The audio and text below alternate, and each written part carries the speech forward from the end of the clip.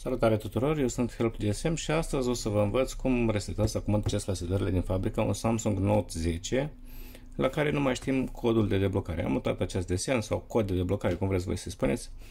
Uh, vrem să resetăm astfel încât să nu ne mai ceară acest cod de deblocare. Cum facem acest lucru? Prima dată trebuie să resetați, resetați telefonul, adică buton volum jos și power sau buton de Bixby până când telefonul vostru se închide. Da?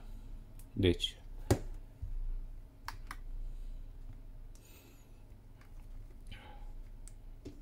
buton volum jos power, le țineți pe amândouă apăsate și în momentul în care s-a închis telefonul, foarte repede buton volum sus power, dați drumul butonului de power în momentul în care ați văzut logo-ul de la Samsung pe ecran.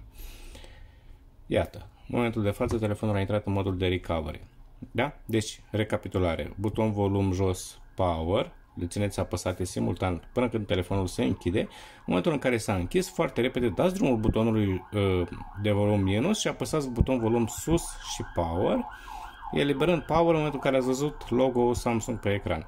Acum, ca să-l resetăm, vă duceți frumos cu butoanele de volum uh, navigați, vă duceți pe Wipe Data Factory Reset, confirmați cu power, din nou confirmăm cu power și ne mai ducem pe wipe cache partition.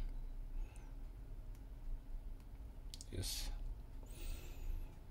La urmă dăm un reboot system now, telefonul se va închide, va reporni și va fi la acele setări inițiale, adică setările de limbă și configurările inițiale, exact ca atunci când a fost cumpărat prima dată. În cazul în care vă cere cont de Google, ar trebui neapărat să-l știți.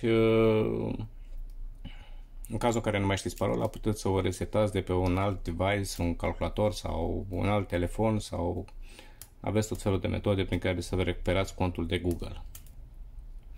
Procedura în sine durează puțin.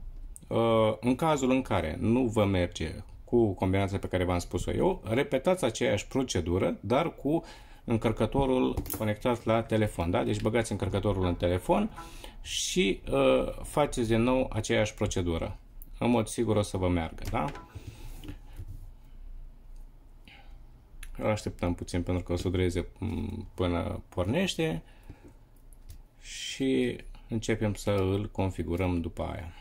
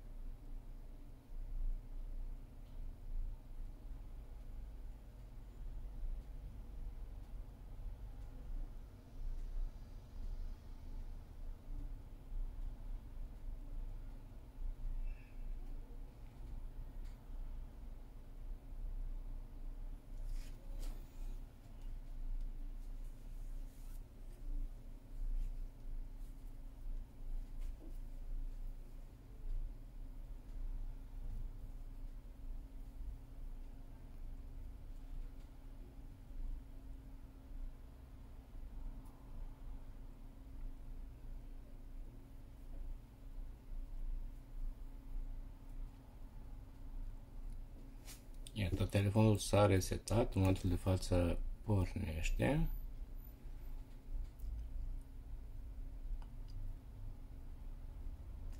Și exact cum v-am spus, suntem la cele setări inițiale uh, ca atunci când telefonul a venit prima dată.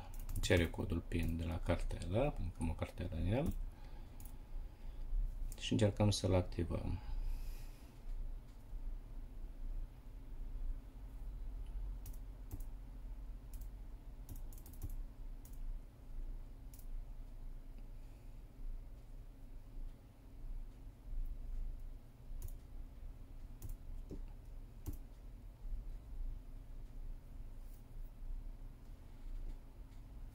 Iată, telefonul a pornit, nu ne mai cere niciun cod, nimic.